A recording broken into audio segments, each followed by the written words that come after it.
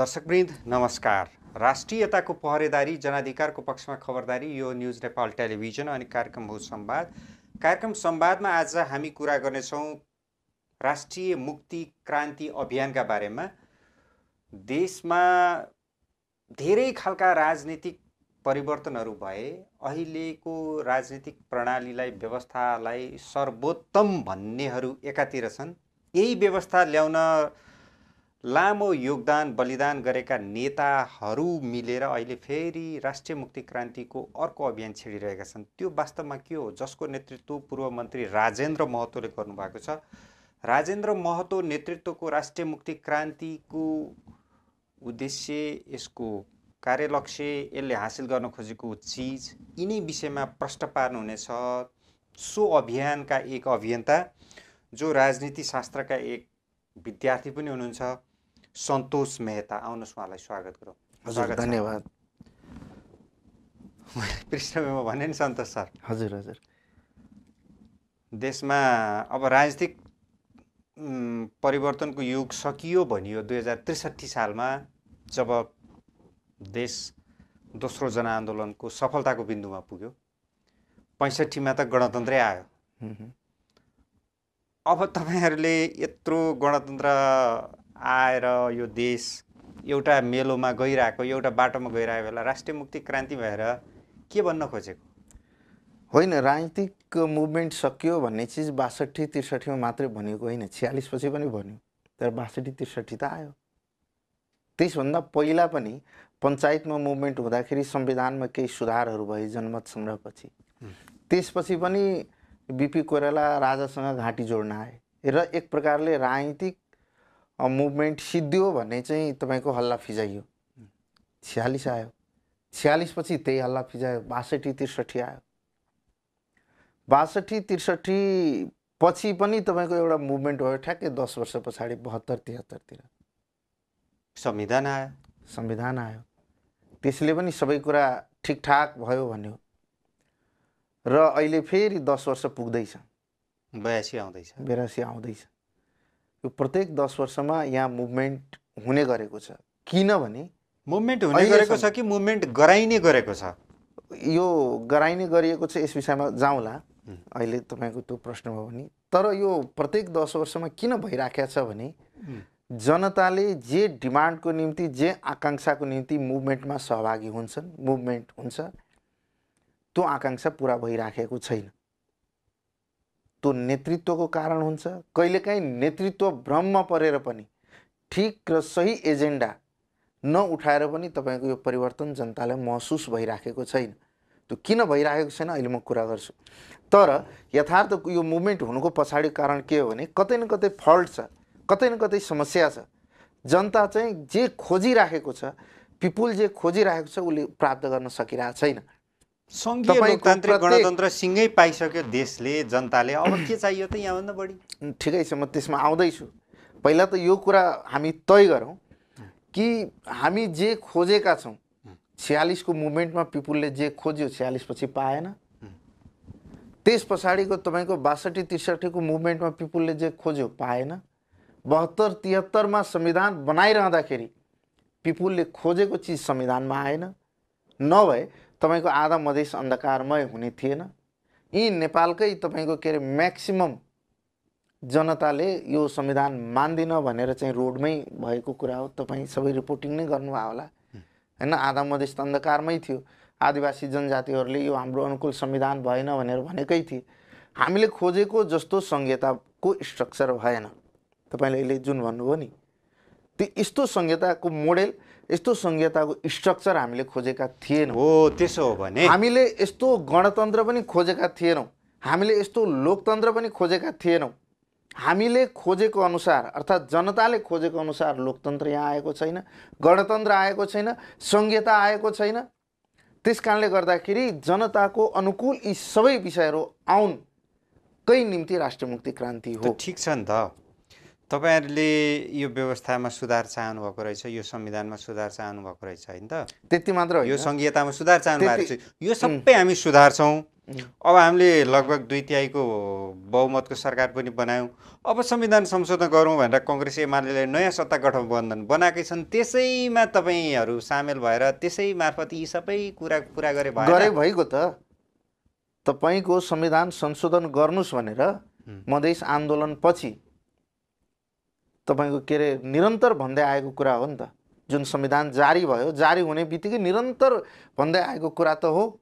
हाम्रा यसपालि पुरा हुने भयो त अनि ठिक छ त हामीले भने जस्तै संविधान संशोधन गरियोस् त।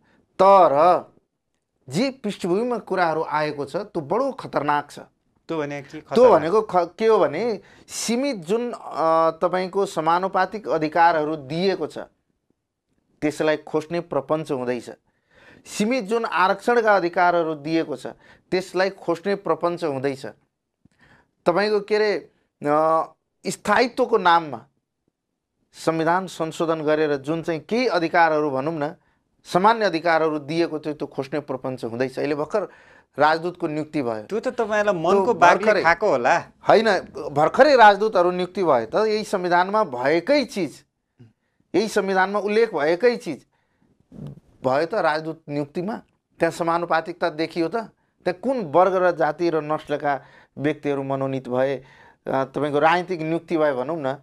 हामी कहाँ त सबै राजदूतहरू राजनीतिक नियुक्ति नै हुन्छन् न्यायाधीशसम्म हुन्छन्। त्यस कारणले कुन वर्गका व्यक्ति भए कुन नस्लका व्यक्ति भए? संविधानको विपरीत कुरा भएन। तर पनि यही यही सामान्य दिएको चिज पनि तिमीहरूलाई बढी भयो भनिराखेको छ।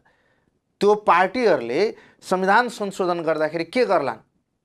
दिएको सीमित दिएको चिज पनि खोज्नेवाला साना दलहरू साना दलहरू राजनीतिक स्थायित्वका दुश्मन भए अर्थात् यिनले राजनीतिक अस्थिरता बढाए सत्ताको सधैँ च्याखेदाउ थापे थ्रेसहोल्ड बढाइदिने दस प्रतिशत पुर्याइदिने नामेट गरिदिने ठुला पार्टीले सोचे त उनीहरूको हितै सोचे देशको हितै सोचे होला नि त। अनि त्यसले के स्थायित्व प्राप्त हुन्छ?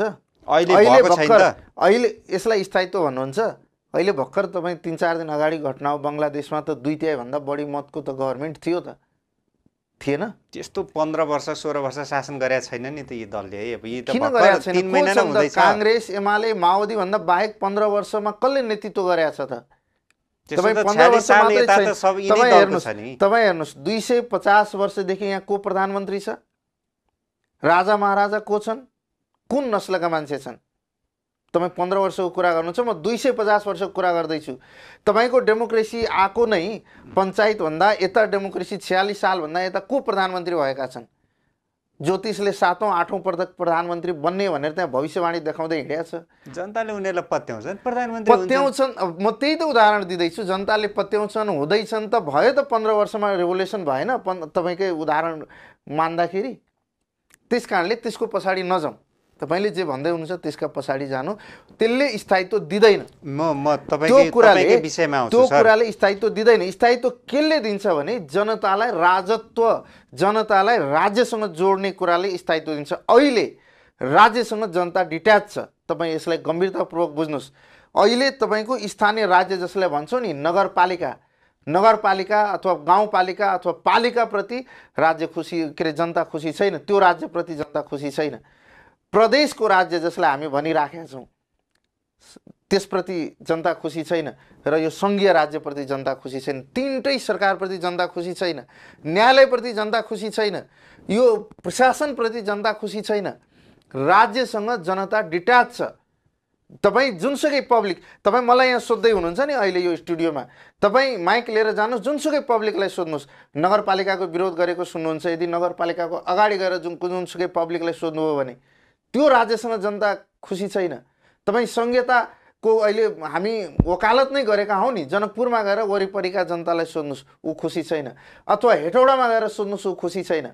सिंहदरबारको वरिपरि रहेका जनतालाई सोध्नुहोस्। जनतालाई सोध्नुहोस् जो जो व्यापारी हो जो जो जसलाई राजनीतिसँग मतलब छैन त्यसलाई सोध्नुहोस्। यहाँ काठमाडौँमा वरिपरि तपाईँको सटरमा यो सटर खाली छ भनेर चाहिँ बोर्डहरू झुन्ड्याइराखेको छ। त्यो व्यापारीहरूलाई सोध्नुहोस्।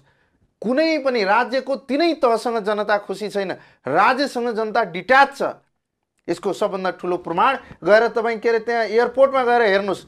जनता यति डिट्याच छ कि यो राज्यप्रति जनताको मोह भङ्ग भइसकेको छ। प्लस टू गर्ने बित्तिकै ट्यु जाने कि ट्यु इन्टरनेसनल एयरपोर्ट जाने भनेर यदि तपाईँ कुनै प्लस टू पढ्ने विद्यार्थीलाई सोध्नुभयो भने उसले ट्यु क्याम्पस र कलेजहरू यहाँको छनौट गर्दैन बरु ट्यु इन्टरनेसनल एयरपोर्ट छनौट गर्छ। सर तपाईँले भनेको। मेरो भनाइ जनता राज्यसँग ठुला दलसँग असन्तुष्ट भएको भए त तपाईँहरूलाई सत्तामा पुर्याइहाल्थ्यो नि। होइन तपाईँका राष्ट्रिय मुक्ति क्रान्तिका संयोजक राजेन्द्र महतो जो पटक पटक छ्यालिस सालदेखि यता जति सरकार बने उहाँले लगभग सबै सरकारमा सहभागिता जनाउनु भयो नि होइन? छैन। धेरैमा। धेरैमा जनाउनु भयो केहीमा? हुनुहुन्छ। होइन त? पछिल्लो समय चुनाव हार्नुभयो। सत्तामा पुग्ने बाटो बन्द भयो। उहाँको पार्टी फुट्यो। आफू बलियो हुन नसक्ने अनि आफू शक्तिमा नहुँदा राजनीतिक शक्तिलाई गाली गर्न तपाईँ जुन ढङ्गले राजेन्द्र महतो ज्यूको मूल्याङ्कन गर्नुभयो वास्तवमा त्यो हिस्ट्री होइन। यदि हिस्ट्री हेर्नुभयो भने उहाँको उहाँ सधैँ मुभमेन्टबाट रेभोल्युसनबाट अगाडि बढ्दै आउनुभएको। सत्तामा हुँदा उहाँ मन्त्री जम्मा पाँच पटक बन्नुभयो उहाँको हिस्ट्री हेर्नु होला। मन्त्री Yes, बन्नु भनेको म भन्दैछु। थोरै पाँच उपलब्धि हो। पटकमा पाँच पटकमा उहाँ तिन पटक राजीनामा दिएर बाहिर आउनु भएको छ। तिन पटक उहाँ रिजाइन दिएर सरकारबाट बाहिर आउनु भएको छ। त्यो बुझ्नुहोस्। अन्तिम पटकको त कुरा नगरौँ। तर बाँकी समय उहाँ रिजाइन दिएर बाहिर आउनुभएको छ भने सत्ता अन्तिम पटक पनि उहाँ अठार दिनको मन्त्री हुँदाखेरि पहिलो दिन शपथ ग्रहण गर्ने बित्तिकै उहाँले भन्नुभयो मेरो उद्देश्य मेरो लक्ष्य भनेको यो देशलाई बहुराष्ट्रिय राज्य बनाउनु हो। अब मेरो राजनीतिक कार्यभार त्यही हो। यो देशलाई बहुराष्ट्रिय राज्य बनाउनु नै मेरो राजनीतिक कार्यभार हो। यहाँ अलिकति हङ्गामा पनि भयो। उहाँ सत्ता छोड्न पनि तयार हुनुभयो। यदि आवश्यकता पर्यो भने तर मेरो लक्ष्य त्यही हो। पटक पटक न्युजमा पनि आयो। उहाँले विभिन्न मिडियाले पछि सोद्धा। पनि उहाँले त्यही भन्नुभयो मेरो लक्ष्य त्यही हो। तपाईँहरूको लक्ष्यलाई जनताले साथ दिएको भए त मानव सागर उर्लेर तपाईँहरूले क्रान्तिको यो। लक्ष्य निर्धारण भएको र राष्ट्रिय मुक्ति क्रान्ति घोषणा भएको त पाँच महिना त पुगेको छैन। तपाईँ कहिले कुरा गर्दै हुनुहुन्छ? उहाँ कहिले जन्मिनु भयो कहाँबाट के के गर्दै आउनुभयो? एउटा सङ्घर्षको पृष्ठभूमि छ एउटा राजनीतिप्रति इमान्दारिताको पृष्ठभूमि छ त्यहाँसम्म ठिक हो। तर राष्ट्रिय मुक्ति क्रान्ति घोषणा भएको त भर्खर अस्ति फागुन सोह्र गते त हो। आउँदैछ चौरासी तेरासी वा कहिले इलेक्सन होला? तर राष्ट्रिय मुक्ति क्रान्तिले निर्धारण गरेको राष्ट्रिय मुक्ति क्रान्तिले देखाएको र राष्ट्रिय मुक्ति क्रान्तिले उठाएको एजेन्डामै आधारित भएर अबको इलेक्सन हुन्छ। त्यो हेर्नु होला तपाईँ। तपाईँको स्टुडियोमा म भन्दैछु किनभने राष्ट्रिय मुक्ति क्रान्तिले जनतालाई राज्यसँग जोड्ने उसलाई राजत्व प्रदान गर्नेसँग सम्बन्धित यो मुभमेन्ट हो। यो एउटा स्वाभिमानको लडाइँ हो। यो अधिनायकवादको विरुद्ध मात्र होइन उपनिवेशवाद विरुद्धको लडाइँ हो। जसरी यो देशलाई अहिले उपनिवेश बनाइएको छ त्यसको विरुद्धको लडाइँ हो। सभ्यता र संस्कृतिलाई जसरी तपाईँको गिज्याइएको छ त्यस विरुद्धको यो लडाइँ हो। यो पहिचानको निम्ति हो जुन जनतालाई तिमी आफ्नो कुरा राम्रो आदर्श उद्देश्य रहेछ यहाँहरूको। जनताको व्यापक समर्थन भएर तपाईँहरूले खोइ त ज- मुक्ति क्रान्ति देखाएको शक्ति देखाएको खोइ त। देखिन्छ त्यो जनताले बुझिराखेको छ त। जनताले बुझिराखेको छ जनताले जनताले बुझ्छ। म तपाईँलाई भनिहालेँ त इलेक्सनको रेगुलर सेड्युल भनेको चौरासी होइन? मध्यावधि पनि हुन सक्ला नि। ठिक छ मध्यावधि भयो भने मध्यावधिमै पनि जनताले बुझाइदेलान्। तर रेगुलर इलेक्सन चौरासी होइन? तपाईँ हेर्नु होला राष्ट्रिय मुक्ति क्रान्तिले दिशा निर्देश गरेको बाटोमै इलेक्सन हुन्छ अब यो देशमा। किनभने वाक्क दिक्क भइसके कङ्ग्रेस एमाले माओवादीसँग र उनीहरूले गरेको सत्ताभ्याससँग उनीहरूले उठाएको एजेन्डासँग उनी उनीहरू जुन ज्ञान सत्ताको आधारमा उनीहरू जुन विज्ञानको आधारमा राज्य बनाउँछु भनेर हिँडेको छ नि त्यही फल्ट छ। मान्छे फल्ट हो भन्ने कुरा म भन्दिनँ। प्रचण्ड गलत छन् अथवा शेरबहादुर देउवा गलत छन् अथवा केपी ओली गलत छन् तिनीहरूको जात गलत छ पनि म भन्दिनँ। तर उनीहरू जुन ज्ञानको आधारमा उनीहरू जुन विज्ञानको आधारमा राज्य बनाउँछु भनेर हिँडेका छन् नि त्यो गलत छ। त्यसले जनताले पटक पटक निर्वाचित पठाउँछन् अब गर्दैन। यो अन्तिम हो। तपाईँको यो जुन अहिले उनीहरू एक भएका छन् नि। अरू पनि कसैलाई सोध्नुभयो होला भने एउटा कुरा के भन्छन् भने यो यिनीहरूको अन्तिम हो। काङ्ग्रेस र एमाले दुइटै एक भइसकेपछि यहाँ विपक्षी कोही पनि छैन संसदमा। किन छैन? प्रचण्ड माओवादी होइन। खासै छैन। अरू साना दल पनि छन् रासोपा छ। है त्यो पनि रेगुलर प्रयासमा छ म कसरी सरकारमा जाउँ? यहाँ को विपक्षी हुन बसेको छ र? एमाले विपक्षी हुँदा ऊ कसरी सरकारमा जाउँ भनेर रेगुलर प्रयास गरेका छैन? काङ्ग्रेस विपक्ष हुँदा रेगुलर प्रयास गरेका छैन? होइन त्यता माओवादी पनि विपक्ष हुँदा यो रेगुलर प्रयास गरेका छैन। अहिले विपक्षी भनेको। अहिले विपक्षी भनेको राष्ट्रिय मुक्ति क्रान्ति मात्रै हो। र जनता यसको साथमा आउँछ बुझ्दैछन्। जनता आउँदैछन् तपाईँ विश्वास गर्नु संसदमा नआएपछि सडकमा हुने त प्रतिपक्ष हुने नै भयो त्यता पछि जाउँला सर। राष्ट्रिय मुक्ति क्रान्ति भनेर तपाईँहरूले जनतालाई फेरि अर्को भ्रम दिँदै हुनुहुन्छ क्या? छयालिस सालमा बहुदल भनेर आन्दोलन गरियो त्रिसठीमा गणतन्त्र भनेर गरियो बाहुन्नमा जनयुद्ध फेरि अर्कै व्यवस्थाका लागि साम्यवादका लागि बनियो। पटक पटक जनतालाई कसै न कसैले भ्रम बाँड्थे अहिले तपाईँहरू बाँड्न थाल्नुभयो। मान्छे यसो पनि भन्छन् क्या तपाईँहरूलाई। होइन भन्नलाई त मान्छेले जे भने नि भयो हुँ। तर यथार्थ कुरो के हो भने जनताको माग नै हो परिवर्तन। अहिलेसम्म भएको परिवर्तनले जनताको माग सम्बोधन गर्न सकेन। त्यस कारणले अब यो माग सम्बोधन गर्न नसकेको हुनाले अब यो परिवर्तन व्यवस्था परिवर्तन हुनुपर्छ अवस्था परिवर्तन के हुनुपर्छ व्यवस्था भन्ने ल्याउने सर भनिरहेको अब यहाँ भन्दा होइन व्यवस्था भनेको मैले यो तपाईँको यो नाममा ब्यानरमा मैले भन्न खोजे होइन। लोकतन्त्रको ब्यानरमा मैले भन्न खोजेको होइन। तर अहिलेको लोकतन्त्रको जुन मोडेल छ त्यो पश्चिमा ज्ञानमा आधारित यो लोकतन्त्रको मोडेल हो। अहिलेको गणतन्त्रको मोडेल पश्चिमा फरक छ? एकदमै फरक छ। एकदमै फरक छ। हरेक चिज विकास विकासमा फरक छ। तपाईँलाई म एकदम सानो बुझ्ने भाषा म- बुझ्ने भाषामा एउटा। उदाहरण दिन्छु। मेरो मेरो जिज्ञासा। अहिले। सन्तोष मेहता होइन त? हजुर। यो मुलुकको सङ्घीय लोकतान्त्रिक गणतन्त्र नेपालको पहिलो राष्ट्रपति डाक्टर रामवरण यादव। हो। मधेसी छोरा नेपालको होइन त। हो। तपाईँ सन्तोष मेहता। तपाईँ पनि मधेस भूगोलबाट मधेस जीवनबाट नागरिकताबाट प्रतिनिधित्व गर्नुहुन्छ होइन। तपाईँलाई डाक्टर रामवरण यादव जस्तै नयाँ रामवरण यादव भाग्दै बन्न केले रोक्यो? तपाईँलाई म यसको पछाडि एकदम दुईवटा चिज भन्छु. एउटा चिज रामवरण यादव एक्सिडेन्टल राष्ट्रपति हो। राष्ट्रपतिमा तपाईँको बुझाइ हो तर सत्य यो। सङ्घीय गणतन्त्र नेपालको पहिलो। राष्ट्रपति।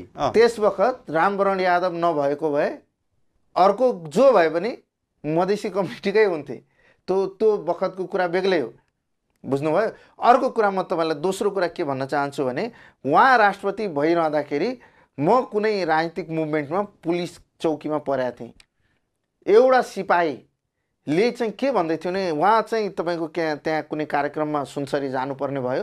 त्यो सिपाहीले के भन्दै थियो भने एउटा धोती मतलब धोतीको कार्यक्रम छ त्यस कारणले सुरक्षा स्थिति बढेको छ। त्यो एङ्गलले तिनीहरू आपसमा संवाद गर्दै थिए।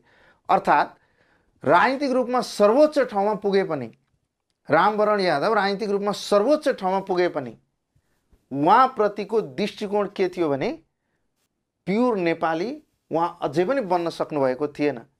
प्युर नेपालीप्रतिको एउटा फ्रेम बनाएको छ यो समाजले। यो गोर्खाली समाजले एउटा फ्रेम बनाएको छ। त्यो फ्रेमभित्र उहाँ अझै पनि अटिसक्नु भएको थिएन। हामी त्यो फ्रेमलाई चेन्ज गर्न चाहन्छौँ। र अघिको कुरा मैले थोरै कन्टिन्यू म ज्ञानको कुरामा थोरै कन्टिन्यू के गर्न चाहन्छु भने अहिले सामान्य तपाईँलाई एउटा उदाहरण दिउँ। त्यहाँ एक्सिडेन्ट भयो नि बस अहिलेसम्म भेटिएन। चितवनमा। त्रिशुली नदीभित्र चितवनमा। त्यो सडकको विस्तार अथवा त्यो सडकको निर्माण पश्चिमा ज्ञानमा आधारित भयो। म एकदम बुझ्ने भाषामा यो एकदम अचम्म लाग्ला तपाईँलाई। विकास पनि पश्चिमा हुन्छ भनेर।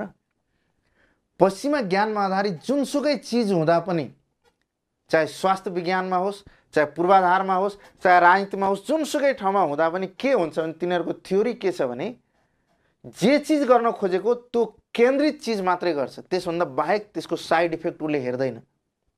सामान्य यदि स्वास्थ्यमा हेर्नु हो भने स्वास्थ्यमा उपचार गर्दाखेरि पश्चिमा ज्ञानमा आधारित जुन उपचार छ त्यसको थुप्रै साइड इफेक्टहरू छ। त्यो त्यो जहाँ दुखाइ छ जहाँ प्रब्लम छ त्यसलाई हेरेर मात्रै त्यो उपचार विधि निर्माण भएको। तर हाम्रो जुन उपचार विधि त हाम्रो पनि थियो। पूर्वीय सभ्यतामा पनि उपचार विधि थियो। तपाईँ सुन्नु होला आयुर्वेदको कुनै पनि साइड इफेक्ट हुँदैन। तर रोग त निको हुन्थ्यो। रोग निको पनि हुन्छ। रोड बनाउँदाखेरि त्यो ज्ञानमा आधारित रोड बनाउँदाखेरि के एङ्गलले रोड बनाउँछ भने केवल रोड बनाउँछ रोड मजबुत होस्। रोड मजबुत बनाउनको निम्ति रोडलाई अग्लो अग्लो बनाउँछ। अनि त्यहाँदेखि तराईकै कुरा गरौँ। रोड यताबाट अग्लो बनाएको छ अर्कोतिर रोड अग्लो बनाएको छ यता दक्षिणबाट रोड अग्लो बनाएको छ अनि गाउँ अहिले पोखरी भएको छ तराईमा अब बाढीको यति धेरै ठुलो प्रब्लम हुनेवाला छ। पोखरी नै पोखरी हुनेवाला छ गाउँका गाउँ। यहाँ पनि तपाईँको रिपोर्ट त आइसक्यो त। त्रिशुलीमा जुन बस खस्यो त्यसको पनि रिपोर्ट त आइसक्यो त। रोडकै कारणले त्यो खसेको हो नि त। माथि अर्को रोड बनाउँदाखेरि त्यसै कारणले त त्यो पहिरो गएको हो नि त। रिपोर्ट त आइसक्यो त। भनेदेखि उनीहरूको विकास भनेको त्यो केन्द्रित तर हाम्रो विकास भन्दाखेरि त्यो रोड मात्रै बन्दैन। वरिपरिको गाउँलाई हेर्छ त्यसमा गुड्ने बस वा गाडीलाई हेर्छ सबै कुरोलाई हेर्छ। त्यस कारणले मैले के भन्न खोजेको हो भने त्यो ज्ञानमा आधारित हाम्रो विकास फेल भयो। त्यो ज्ञानमा आधारित स्वास्थ्य अस्ति कोरोनामा पनि फेल भएकै हामीले हेऱ्यौँ।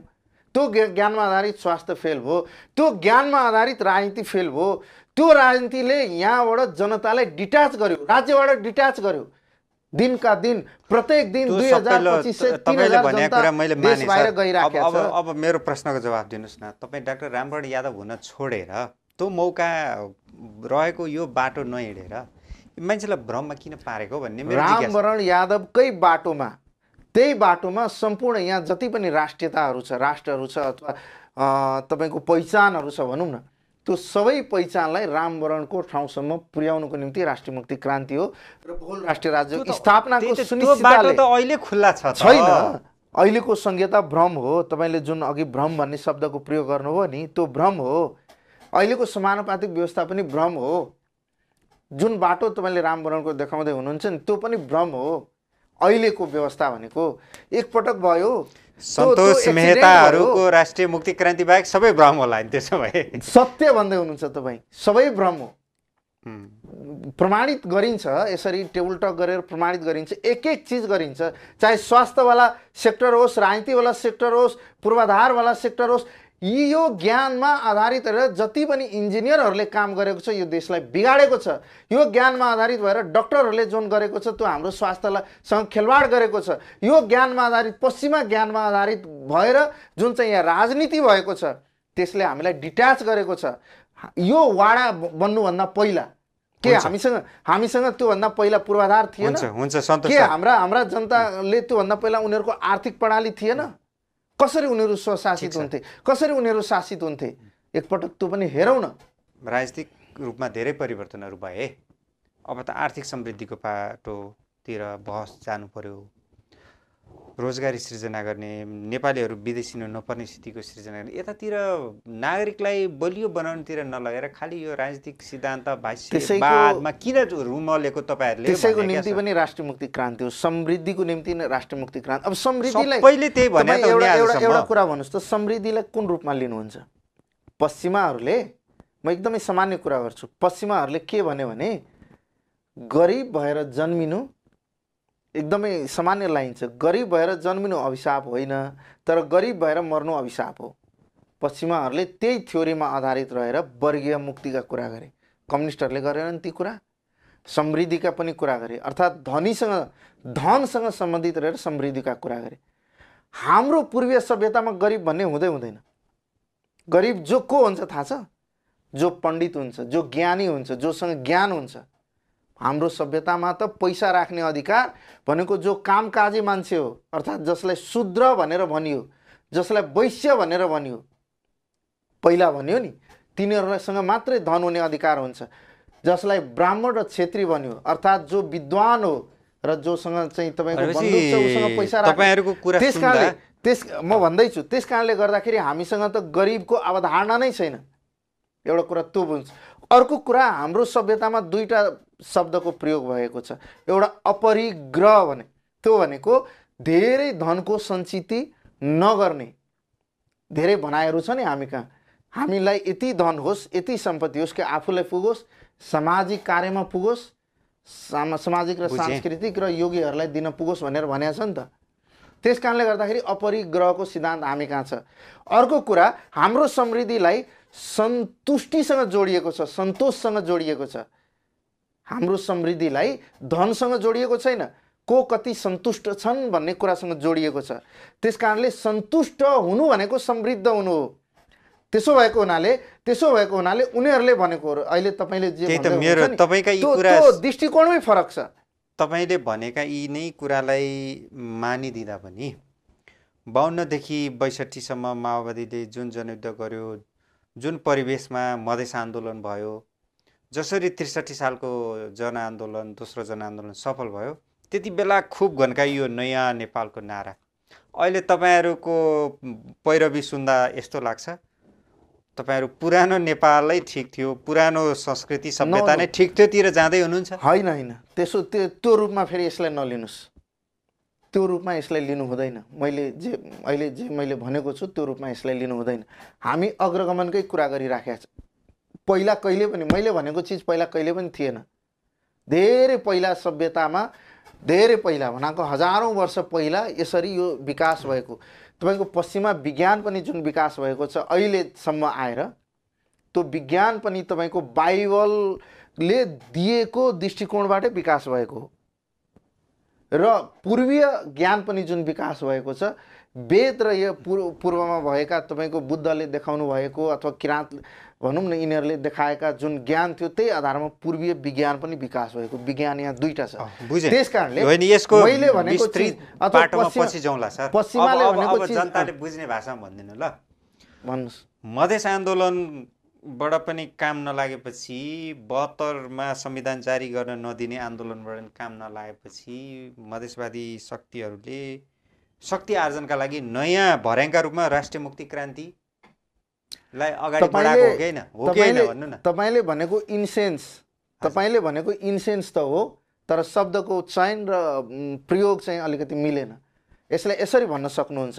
मधेस आन्दोलन अथवा मात्रै मधेस आन्दोलनले पुरा नहुने भएपछि मधेस आन्दोलन जस्तै भइराखेको लिम्बुवाना आन्दोलन तामसालिङ आन्दोलन नेवा आन्दोलन मगरात आन्दोलन लगायतको पहिचानवादी आन्दोलन र समृद्धिको निम्ति रहेको फरक फरक तरिकाको आन्दोलन। नयाँ नेपालको निम्ति भइरहेको फरक फरक आन्दोलनलाई एकत्रित आन्दोलन गरेर अब एकै ठाउँमा एकै आन्दोलन बनाएर अघि बढ्न खोजेको राष्ट्रिय मुक्ति क्रान्ति। यो भाषामा बुझ्नुभयो भने तपाईँले भनेको इन्सेन्स त्यही हो तर यो शब्दको अझ जनताले बुझ्ने भाषामा भन्नुपर्दा राष्ट्रिय राजनीतिबाट किनाराकृत हुँदै गएपछि राजेन्द्र महतोलाई सत्तामा पुग्ने एउटा नयाँ खेलोमेलो यस्तो किनारीकृत भएको त थुप्रै छन् नि। त्यो साहस त गर्नु पऱ्यो नि अरूले पनि। राज्यलाई देशलाई योगदान दिने साहस त गर्नु पऱ्यो नि। तपाईँ इगलको एउटा सुन्नु भएको छ इगल बुढो भएपछि उसका पखेटाहरू पनि बुढा हुन्छन् सबै हुन्छन् उसँग त्यसपछि दुईवटा उपाय हुन्छ। कि त त्यो इगल मर्नुपर्छ सिद्धिनुपर्छ कुनै रुखमा बसेर त्यहीँबाट सिद्धिन्छ कि त त्यो इगल एउटा कोठाभित्र गएर आफ्नो सबै प्वाखलाई आफैले चिथोरेर निकालेर अनि त्यस पछाडि उसको नयाँ प्वाख पलाउँछ। अनि त्यसपछि फेरि ऊ धेरै वर्ष बाँच्छ र नयाँ खालको ऊ चाहिँ उचाइमा फेरि पुग्छ। त्यस कारणले गर्दाखेरि यो त्योसँग तुलना गर्नुहोस्। राजेन्द्र महतो अरू नेता जस्तो तपाईँको के अरे गर्तमा जानु भएन। हेर्नुहोस् तपाईँको के हुन्छ भने कुनै पनि लडाइँ अथवा युद्धमा युद्ध अथवा लडाइँ हारिसकेपछि त्यहाँ तिनवटा मनोविज्ञानको विकास हुन्छ। एउटा कस्तो मनोविज्ञान हुन्छ भने युद्ध हारि हार्नेहरूको कस्तो हुन्छ भने हारिसकेपछि आफ्नो अनुहार लुकाउँछ चुक्कुल लगाउँछ ढोकामा र घरभित्रै बस्छ। किनभने अनुहार बाहिर देखाउन सक्दैन यो हरुवा अनुहार बाहिर देखाउन सक्दैन। एउटा यो मनोविज्ञानको विकास हुन्छ। अर्को कस्तो मनोविज्ञानको विकास हुन्छ भने तपाईँको हार्नेहरू चाहिँ आत्मसमर्पण बाहिर त निस्किन्छ तर ऊ आत्मसमर्पण गर्छ।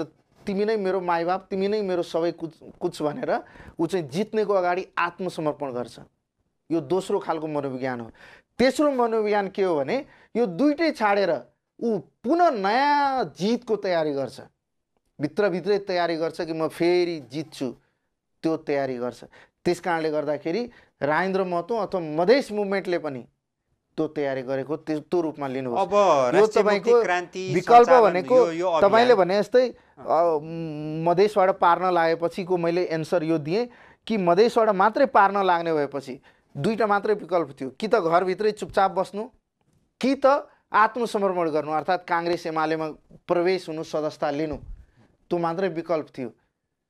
राजेन्द्र महतोले अरू सबैले आत्मसमर्पण गरे कोही घरभित्र लुके मधेस आन्दोलनपछि तपाईँ हेर्नुभयो होला। बहुत नेता चाहिँ ढोका चुक्कु लगाएर घरभित्र लुकेका छन्। हाम्रो पुरानो पार्टी पनि त्यही गर्तमा रहने भएपछि राष्ट्रिय मुक्ति क्रान्तिको आवश्यकता परेको अब ल ठिक छ यो त्यस कारणले राजेन्द्र महतो तपाईँ- तपाईँको नयाँ आन्दोलनको नयाँ मुभमेन्टको नयाँ लडाइँको तयारी गरेर अगाडि बढ्नु भएको छ र त्यति मात्र होइन पृथ्वीनारायण शाहले भौगोलिक एकीकरण गर्नुभयो। तर यही भूगोलमा जनताको भावनात्मक एकीकरणको पाटो अहिलेसम्म छुटेको हो। त्यस पछाडिका कुनै पनि राजा महाराजाले त्यो प्रयास गरेन। जङ्गबहादुर राणा अथवा राणा शासन आएपछि झन् कानुन बनाएर जनतालाई फोड्ने काम गरे। मासिन्या मतवाली बनाए नछुने बनाए जात जातमा डिभाइड। गरे। यति पहिलो पटक पहिलो पटक तपाईँको यहाँ भावनात्मक पहिलो त सुन्नु न भावनात्मक एकीकरण यति ठुलो पहिलो पटक यो काम हुँदैछ। गर्दै हुनुहुँदो रहेछ होइन? हजुर। यो अभियान यो जन यो त मुक्ति क्रान्ति होइन सर यो त सामान्य क्रान्ति त होइन नि त। होइन होइन राष्ट्रिय बिना पैसा त चल्दैन। चाहिन्छ पैसा ल्याउनुहुन्छ? दक्षिणबाट हो भन्छन् मान्छे। अब यहाँ हेर्नुहोस् पैसामा त लेखिएको हुँदैन कहाँबाट आयो दक्षिणबाट आयो कि उत्तरबाट आयो कि कहाँबाट आयो। तर जनताको भावनाअनुसार यो मुभमेन्ट चल्दैछ। जनताको आर्थिक स्रोत के हो आर्थिक? स्रोत आर्थिक स्रोत के चाहिँ यहाँ खर्च भइराखेको छ र? सबै जनताले आफ्नै तरिकाले त गरिराखेका छन्। हामीले चन्दा पनि उठाइराखेका छौँ। म चाहिँ तपाईँको पूर्वको यही एक चरणको कार्यक्रम जुन भयो पहिलो दोस्रो चरणको पूर्वको मलाई प्रमुख बनाएर पठायो। पूर्वमा मैले पन्ध्र बिसवटा कार्यक्रम गरेँ। मलाई यहाँ काठमाडौँबाट उहाँले पनि कहीँबाट स्रोत जुटाउनु होला चन्दा उठाउनु होला उहाँले जति दिनुभयो त्यसको बाँकी पचहत्तर प्रतिशत त मैले त्यहीँ जोडेँ। त्यही ठाउँमा मैले चन्दा उठाएँ विभिन्न के अरे पालिकासँग पनि ल्याएको छ अरूसँग पनि ल्याएको छ। त्यो त कागजी विवरणमा जनतालाई भन्ने कुरा होला भित्रैदेखि जनताले नै बनाउन त चाहियो होइन त्यही। जनताले नै दिएका छन्। जनताले नै दिइराखेका छ। जनताको दिने स्तर जुन दिन अझै बढेर जान्छ राष्ट्रिय मुक्ति क्रान्तिको आयतन त्यसरी नै बढेर जान्छ। तपाईँ यो कुरा मान्नुहोस्। व्यापारी व्यवसायी र सबैजना यो के अरे यो शासन सत्ताबाट यो ज्ञान प्रणालीबाट वाक्क र दिक्क छ। यसरी व्यापार पनि पार लाग्दैन यसरी व्यवसाय पनि पार लाग्दैन। सबै जो जहाँ छन् कि त चोरी गरेर सुखी हुन चाहन्छन् सुखी भन्नाले धन धेरै कमाउन चाहन्छन् चोरी गरेर चोरी गर्नु भनेको भ्रष्टाचार पनि त जोगी हुनलाई यो राष्ट्रिय मुक्ति क्रान्ति गर्नुभएको होइन होला नि? हामी तपाईँले जुन शब्दको प्रयोग गर्नुभयो मलाई त यो शब्द राम्रै लाग्छ हेर्नुहोस्। जुन जोगी भन्ने शब्दको प्रयोग गर्नुभयो वास्तवमा राजनीति गर्ने मान्छे त्यही स्तरमा जानुपर्छ। हाम्रो सभ्यताले हामीलाई त्यही सिकाएको छ। धेरै धन कमाउनलाई होइन। बुझ्नुभयो? तर तपाईँको स्टुडियो तपाईँको स्टुडियोसम्म म आइपुग्नलाई मलाई गाडी चढ्नु पर्यो। त्यो गाडी चढ्नलाई मलाई जति पैसाको आवश्यकता थियो मलाई त्यति पैसा चाहिँ चाहियो। हिँड्दै आउनलाई यहाँ आउनलाई मलाई तिन घन्टा चार घन्टा लाग्थ्यो। मलाई त्यति पैसाको आवश्यकता हो। हेलिकप्टर मलाई चढ्नु जरुरी छैन यहाँ स्टुडियोसम्म आउनको निम्ति। त्यस कारणले यसलाई त्यो रूपमा बुझिदिनुहोस्। जोगी बन्नलाई भन्ने शब्द उपयुक्त हो। राजनीतिमा जो राजनीति गर्न चाहन्छ ऊ जोगी आफूलाई सोचेरै आफूलाई सन्यासी सोचेरै आउनुपर्छ। दर्शकलाई बुझ्ने गरी सामान्य भाषामा यसलाई। यसरी नै बुझ्नुपर्छ। समाज सेवा हो राजनीति यो- भनेको यो समाज सेवा हो। राष्ट्रिय मुक्ति क्रान्ति भनेको राजेन्द्र महतोलाई प्ले कार्ड बनाएर दक्षिणले नेपालमा राजनीतिक अस्थिरता अशान्ति भित्राउन खोजेको खेल हो यहाँ दक्षिणको लगाइन्छ भन्ने कुरा सत्य हो कि होइन भन्ने क्या? होइन, दर्शकलाई प्रश्न भन्नु होइन के आधारमा यसलाई यसरी भन्न सक्नुहुन्छ? यसका पछाडि त केही आधार हुनु पर्यो नि? तर यो भनिरहँदाखेरि म चाहिँ के भन्न चाहन्छु भने दक्षिण बगैर दक्षिण बगैर नेपालको समृद्धि सम्भव छैन। म नेपालको कुरा गर्दैछु राष्ट्रिय मुक्ति क्रान्तिको कुरा गरिराखेको छैन। राष्ट्रिय मुक्ति क्रान्तिले के वकालत गर्छ भने दक्षिणसँग हाम्रो सुमधुर सम्बन्ध सहोदरको सम्बन्ध अनिवार्य छ। यो यो यो मुक्ति क्रान्तिमा चाहिँ कति सहभागिता छ दक्षिणको? कति आशीर्वाद छ?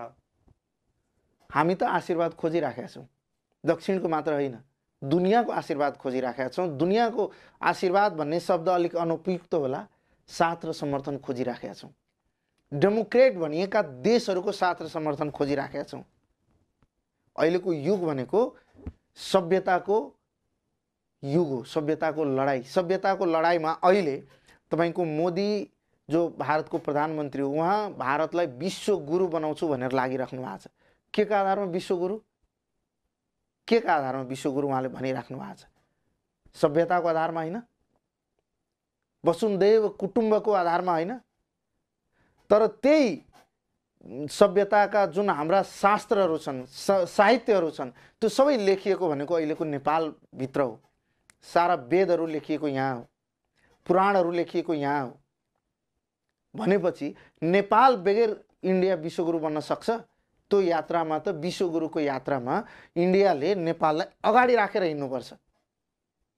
त्यस कारणले इन्डियाको हाम्रो निम्ति दक्षिण होइन कि दक्षिणको निम्ति पनि हामी उत्तिकै जरुरी छ। उसको त मुकुट उसको त मुकुट उसको उसको विश्वगुरु यात्रामा त। हामी मुकुट पो हो त। त्यो विषयमा पछि जाउँला सर। राष्ट्रिय मुक्ति क्रान्तिले यो सङ्घीय लोकतान्त्रिक गणतन्त्र जो शासन व्यवस्था छ हाम्रो यसको सम्वर्धन गर्छ कि यसको अन्त्य गर्छ? कुन शासन? अहिलेको शासन व्यवस्था लोकतान्त्रिक गणतन्त्र अहिलेको शासन व्यवस्था। हामीले खोजेको शासन व्यवस्था भनेको बहुल राष्ट्रिय राज्य नेपाल हो। होइन यो व्यवस्थाको चाहिँ अन्त्य गर्छ कि सम्वर्धन यो यो व्यवस्थाको अन्त्य पनि भन्न सक्नुहुन्छ। किनभने यो व्यवस्था छदम बेसी व्यवस्था भयो। यसले यो व्यवस्थाले हामीलाई भनेको के? छदम बेसी भनेको तपाईँले भनेको जस्तै भ्रममा पार्यो हामीलाई।